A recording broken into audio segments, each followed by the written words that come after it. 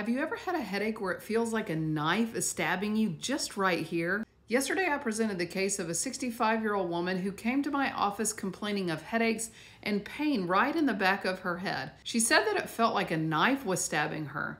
It's been getting that it's been getting progressively worse over the past several years, but now it's gotten to the point where anytime she even sits up, she feels this pain. It's better when she lays down, but anytime she sits up and her head is putting weight on her neck, it's excruciating. And if she leans her head back, it's even worse. She can feel crunching in her neck, and if she turns to the left, it's okay.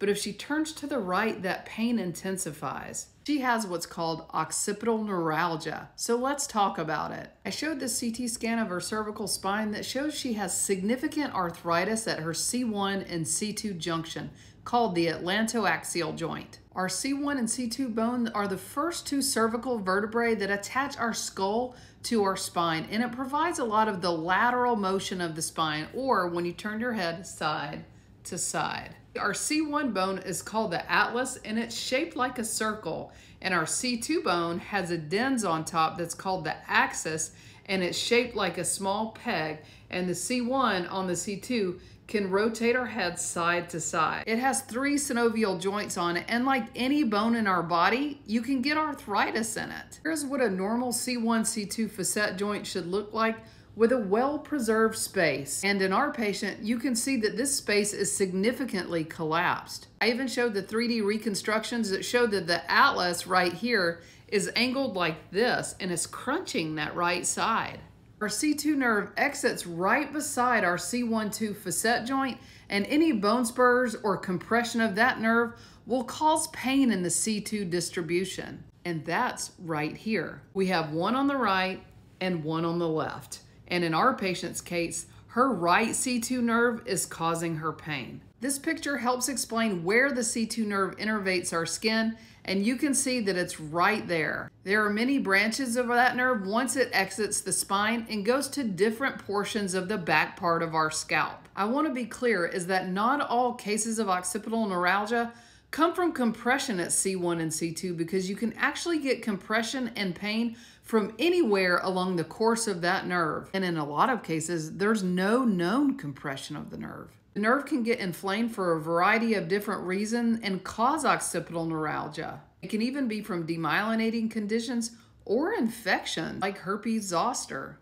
Any patient that presents with a headache that originates at the skull base should be evaluated for the possibility of having occipital neuralgia. It can be paroxysmal or intermittent, but is usually described as a stabbing pain that lasts from seconds to minutes. And in some cases, like our patient, it can be continuous. Also be unilateral or on one side, and it can be bilateral or on both sides, but bilateral cases are only about a third of the time. A good physical examination is crucial because you want to evaluate for what's called the Tinel sign. That means when you tap over the distribution of the nerve, the patient will have sensitivity in that region. The diagnosis is usually confirmed by an anesthetic block of the nerve, or basically where you inject numbing medicine over the nerve to give temporary relief to 40% of the time, though, that may be negative, so a second injection is prudent to rule out the diagnosis. If the injection is positive, meaning it gives temporary relief of the symptoms,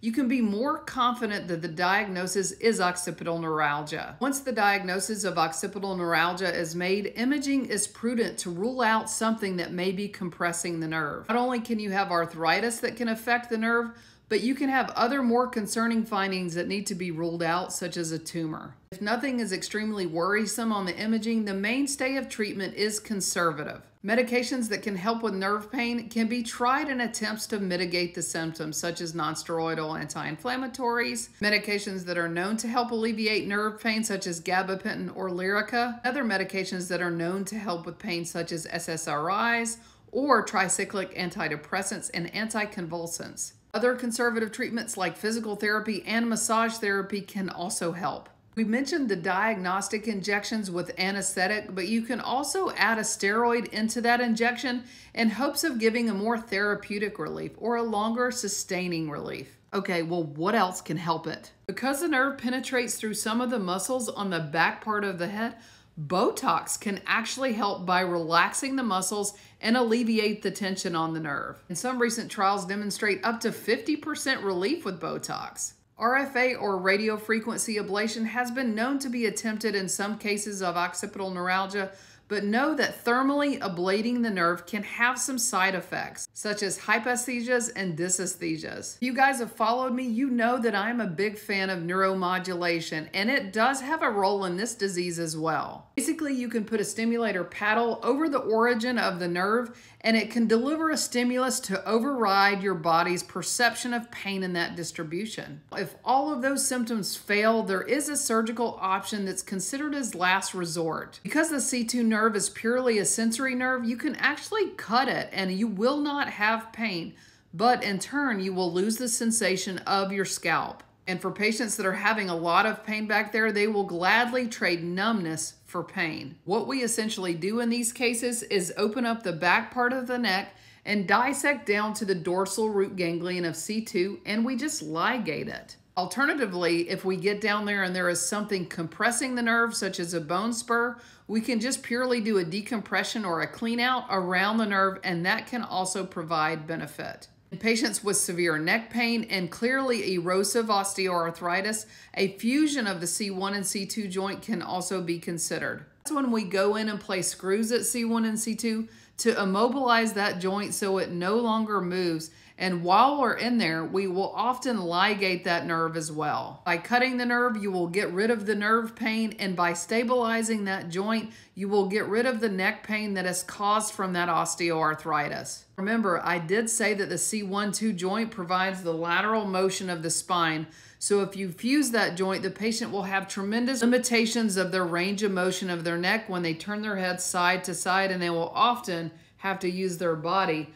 to assist in turning their head. So it is an extremely morbid procedure and should be considered as a last option. I showed this CT of our patient's C1, C2 joint on the left side versus the right side and you can see how much arthritis is affecting their right side. Had such significant pain and she was only 65 years old. I felt that a fusion of that joint was necessary to provide her with long-standing definitive relief for the rest of her life. We discussed the pros and cons of every option including purely decompression but the likelihood that she will have persistent neck pain. She wanted definitive relief and long lasting relief. She tolerated the procedure very well and went home on post operative day number two. I did have her wear a neck collar for a total of 12 weeks, and she has fully recovered and has had complete relief of her pain. Besides a limited range of motion, she is doing extremely well. Another case of patient focused and compassionate care Stay tuned next week and I'll go through another case.